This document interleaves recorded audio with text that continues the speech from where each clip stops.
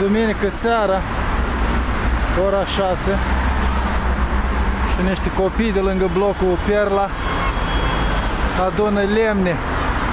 În mod sigur nu locuiesc aici.